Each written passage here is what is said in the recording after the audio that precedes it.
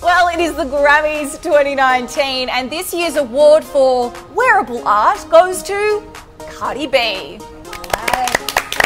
Cardi B. Cardi B, if this isn't a reference to The Birth of Venus by Botticelli, I don't know what is. Well, it's Mugler from 1995, which is the year that I'm born. So, like, I oh, kind I of feel like you. I've got like something special there. But I, I, I love it, and again, I love Mugler. Their woman is just so phenomenal. But do you think that sometimes subconsciously she references Nicki Minaj? Like, do you think Oh. she's aware of that?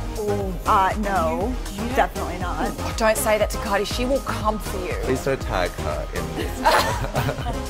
I don't know. I don't think Nicki would do this exact look. Nicki would have nipple tassels on. This this feels kind of like also a Marilyn Monroe, Madonna throwback. I, I love it. I mean, Cardi B is the true woman of the night, record of the year, album of the year, rap album, a bazillion nominations Yeah. for her. And I think as much as we're seeing Lady Gaga pare back some of the carpets this year and go a bit more Hollywood, Cardi is here to step in and Yeah. make it outrageous. she does look like a painting. Is I'm getting a couple of res- references. I'm getting, you know, The Birth of Venus by Botticelli. I'm also getting a little bit of like Las Vegas showgirl coming out of like a fa- like, with a fan behind her. So there's definitely a few little artistic references. Not to mention Ursula. Can't you see poor unfortunate souls?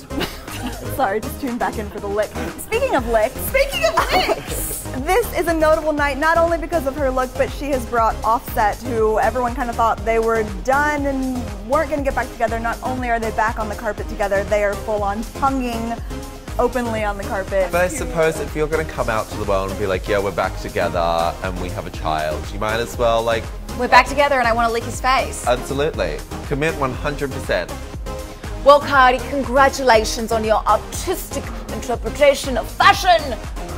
We love you. For more of your favorite red carpet looks from the Grammys 2019, head to eonline.com forward slash AU.